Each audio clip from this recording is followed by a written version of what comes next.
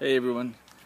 Um, just gonna give you a quick update um, from today. Today's Thursday, so we just kind of had a slow day today. We just finished eating lunch, but I wanted to show you a quick view of uh, part of the church uh, grounds. So this is the, the, the house where the guys stay at, the the rehab, and the little hut, and the swimming pool. So here it is.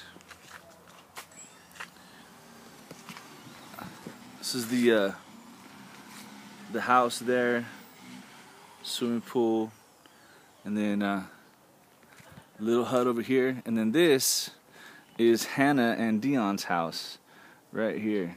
So that's where they live. So just a quick update today. Uh, tomorrow we're gonna go to the Apartheid Museum and uh, go learn about some history. Today we're gonna drive around a little bit and um, see some uh, different parts of the city. And uh, so keep posted, and uh, I'll be posting more Facebook videos up, and letting you guys know what's going on. All right. Thank you guys. God bless you. Keep praying for us, and uh, and uh, we'll see you when we get back.